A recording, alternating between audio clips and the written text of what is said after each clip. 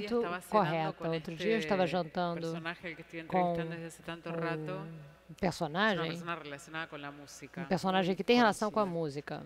E nós estávamos falando de Brahms.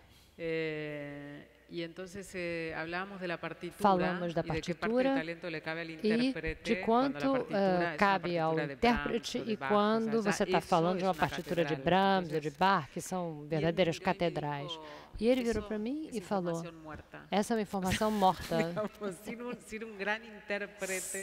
Sem um grande intérprete, a partitura é uma informação morta.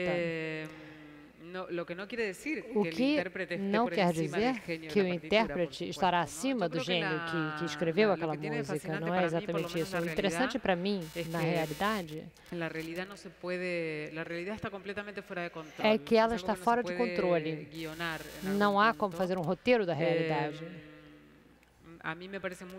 Para mim, é muito mais interessante que na vida real tenha havido 12 pessoas que se mataram numa cidadezinha na Patagônia em um ano e meio e que todas elas tiverem, eh, tiveram, tinham menos de 25 anos e que a última pessoa tenha se enforcado no poste da casa no dia 31 de dezembro, numa cidade com eh, uma, a mesma quantidade de bordéis que de igrejas inglês. Eh, foi um professor de inglês que era um personagem muito interessante. Tinha um, um, um cabeleireiro, um barbeiro, que, como se estivesse cortando o cabelo em Palm Beach, era um personagem alucinado. É, ele, as mulheres saíam lá com.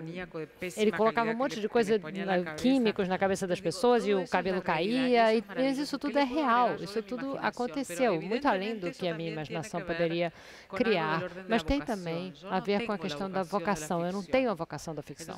Eh, eu sinto que a realidade me prende.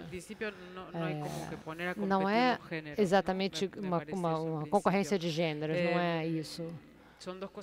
São coisas completamente diferentes.